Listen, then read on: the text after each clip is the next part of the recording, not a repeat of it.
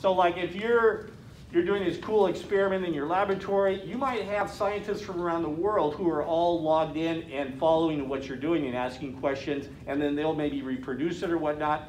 The science community worldwide does this all the time. They don't all end up at the same laboratory. Sometimes they'll be at different laboratories and talking and going, hey, I tried this, have you tried that? You know, do it on this megahertz and do it with this chemical and whatnot.